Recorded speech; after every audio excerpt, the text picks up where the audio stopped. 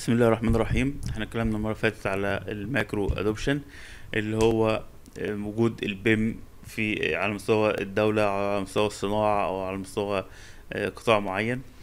آه، أو يعني على مستوى كبير مش بنتكلم على تقييم أشخاص أو بنتكلم على تقييم حاجة صغيرة لا إحنا بنتكلم على مستوى كبير. ففي آه، في ال BIM framework للدكتور بلال سكر في خمس نماذج رئيسيين تقدر تقيم بيهم عملية ال BIM. إحنا هنركز النهارده على أول مرحلة اللي هي diffusion areas. ده بيعتمد على التكامل بين ال BIM stages مع ال BIM fields بيبدأوا هما دول ال BIM stages بيتكون من ثلاث أجزاء وال BIM fields بيتكون من ثلاث أجزاء فبيتكاملوا مع بعض أو بيتداخلوا مع بعض في تسع نقط. هنا بنشوف ال modeling يعني الشركة بتعمل موديل بسيط.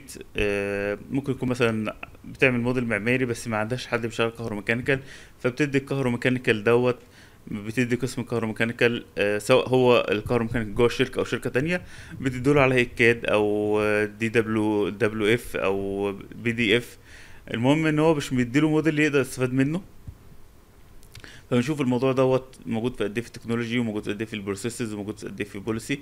هنا ده تقييم حقيقي مش زي ما أغلب الدراسات بتعمل إن هي بتعتمد على آه، دراسة ال software يقول لك إحنا في آه، شركات إيه بتستخدم برنامج إيه وخلاص. لا ده أنت كده جزء صغير خالص اللي هو جزء جزء بسيط من ال technology.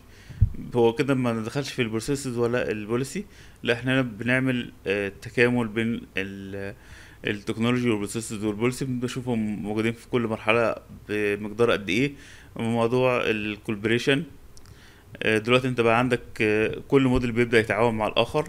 بقى عندي اتنين موديل وبعد كده ال integration إن هو آه، بيتكامل مع بعضه وإن هو كتل موديل واحد بيتكون من معماري وانشائي وكهروميكانيكال بالشكل دوت. هنشوفه إزاي في ال technology وإزاي processes وإزاي في ال policy. نبدأ نقيم ونشوف مثلا نقول في عندي خمس شركات هنا وعندي خمسة وتمانين شركة موجودين هنا وعندي خمستاشر شركة هنا. تبدأ تقيم يعني تبدأ بقى دلوقتي تقدر تقول آه أنهي أفضل في تطبيق ال BIM قطر ولا الإمارات ولا مصر ولا كذا عن طريق إن أنت بتعمل إحصائيات للشركات الكبيرة اللي موجودة واللي شغالة في مجال ال BIM. عندي ثلاث حاجات عندي ال fields بيتكون من ال policy وال processes وال technology. شرحنا الموضوع ده بال- بالتفصيل. ال technology حاجات اللي هي ال software وال hardware و ال processes العمليات اللي إحنا بنعملها عشان نطلع ال BIM آه، بصورة جيدة. ال policy السياسات والكود وهكذا. ده ال fields وبعد كده عندي ال stages اللي هي المراحل بتاعة ال BIM. دول لما بيتكونوا مع بعض ال stages modeling و collaboration و integration التلات دول بيتعارضوا مع التلات دول فبيتكون لي تسع مناطق رئيسيين. بالشكل دوت ادي عندي ال technology ال processes ال policy وعندي هنا في تلات مراحل modeling collaboration و integration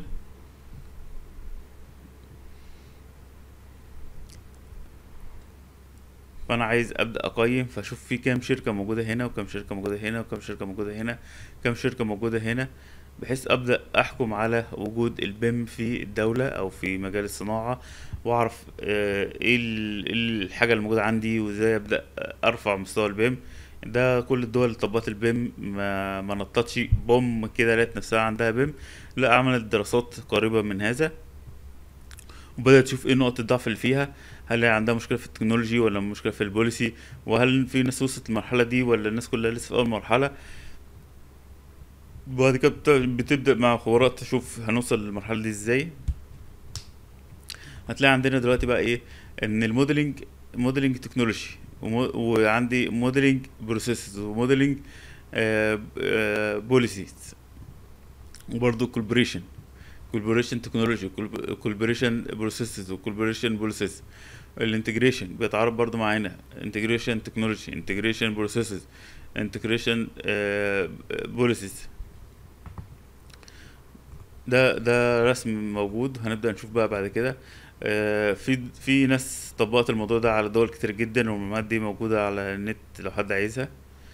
هيطلع لي حاجة مثلا بالشكل دوت إن أنا أعرف إن أنا واحد وتمانين في المية من الشركات الموجودة في الدولة لسه في مرحلة أولى بالنسبة لل technical ووصلت تمانية وتسعين في المية لل pro وتمنتاشر في المية في ال policies خمسة في المية بس اللي بدأت تخش هنا في المرحلة ديت وهكذا. تبدأ أنت تعرف آه، مستوى ال BIM اللي عندك في في الدولة كلها أو في قطاع الصناعة.